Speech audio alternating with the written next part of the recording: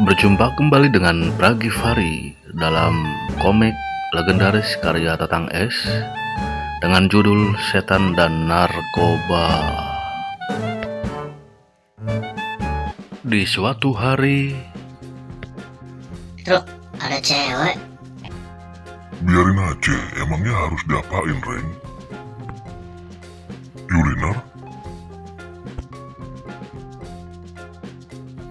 Begitu dekat, Ih, Abang, ketemu di sini. Abang sudah lama tidak datang, sampai ayah kangen berat. Iya deh, besok abang ke sana. Habisnya abang repot terus. Maklum, ngopi kecil-kecilan. Jangan bohong ya, ayah tunggu nih. Pasti abang datang. Kece juga. setelah wanita itu jauh, Truk, kau kenal dia siapa sih? Kasian. Oh, nama dia Hasian. Ah, kau ini bodoh banget, Reng. Kasian itu artinya kekasih. Buset, bahasa apaan tuh? Bahasa Batak. ketika Petruk dan Gareng meneruskan langkahnya, Lihat, Reng. Bungkusan apa yang tergeletak itu? begitu diambil, Buset. Reng, ini sih pil ekstasi. Punya siapa ya? Ini mungkin yang jatuh. Tidak mungkin kalau orang sengaja membuang. Ini yang namanya narkoba. Ekstasi kan mahal, Truk. Jual aja. Kita akan banyak duit. Ekstasi lagi di razia, kau malah mau mencari masalah. Jadi mau kau apakan? Lebih baik kita serahin kepada yang berwajib. Berarti kita ikut memberantasnya. Iya deh, kalau begitu aku setuju dengan pendapatmu, Truk.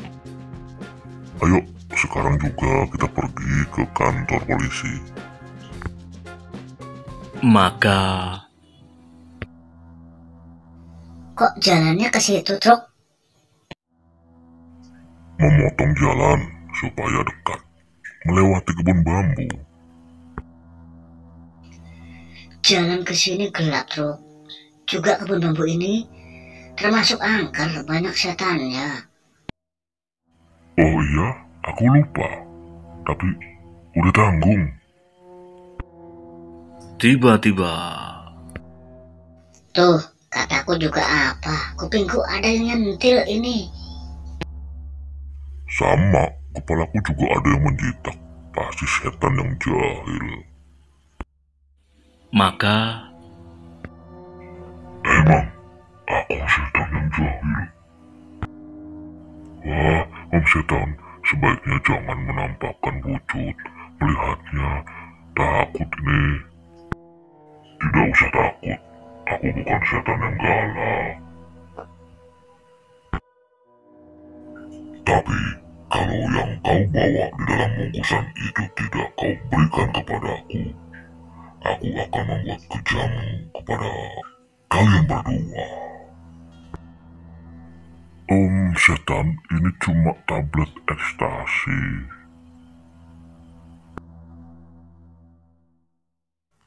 Ya, ya, kebetulan kalau itu ekstasi, emang ku dengar barang itu sekarang lagi ngetren di kalangan sebagian manusia.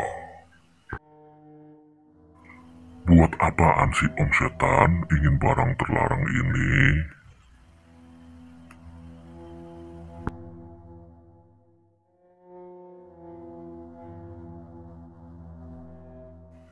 Aku ingin mencobanya. Bagaimana rasanya? Ayo cepat berikan.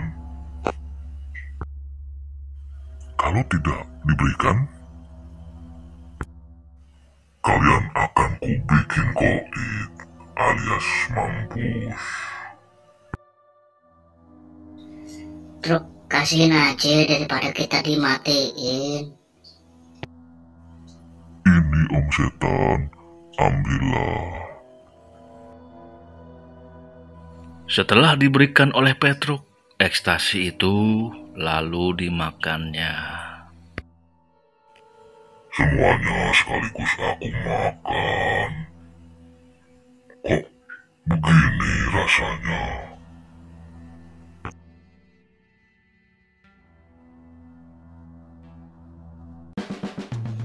Ayo truk cepat pergi. Kita lihat aja dari kejauhan. Oke, Ren.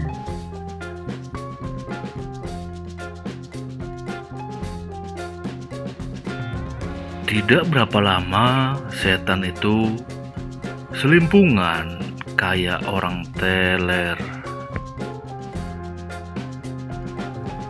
Asik ya, tapi ada pening, ada lemas.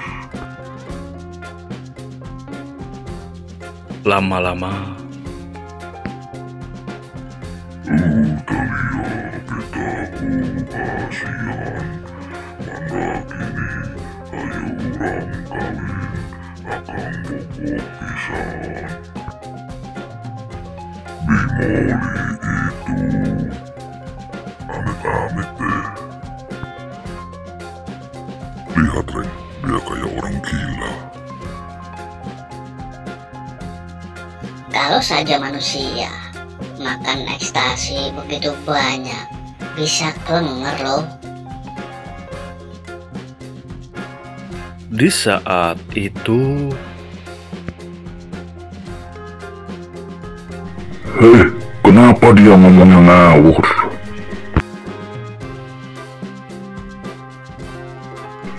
Adikku, kenapa bicara tidak karuan sepertinya linglung? Bang, ayo habis makan ekstasi. Apa kau bilang? Dari mana kau dapat ekstasi? Arya makan banyak sekali. Minta dari orang yang lewat tadi. Kau harus ingat, kita ini golongan setan. Jadi tidak perlu meniru perilaku manusia yang kemauannya macam-macam. Kau telah melanggar hukum persetanan, patut mendapat hukuman. Oh, kita menghadap pimpinan supaya kau diadili. Wah, sedikit kayak pakai sistem famili, seperti kebanyakan golongan manusia. Kalau saudara dapat kesalahan, ditutupinya. Kaum setan tidak ada sistem-sisteman, cepat ikut aku. Wah, di golongan setan hebat juga. Yang salah tetap salah, tidak ada sistem apa pun.